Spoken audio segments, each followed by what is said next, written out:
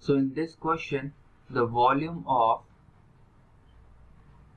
volume of Ki solution is given as 5 ml